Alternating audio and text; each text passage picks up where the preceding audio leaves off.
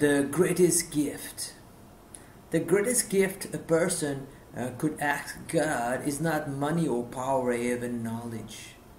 These you can get and lose or made obsolete. Now, I think the gift is the ability to see opportunities in challenges, order in chaos, serendipity in randomness, education in pain. By seeing the invisible, the mind will find ways to get the money, power, and knowledge wherever we are, and even the worst of circumstances.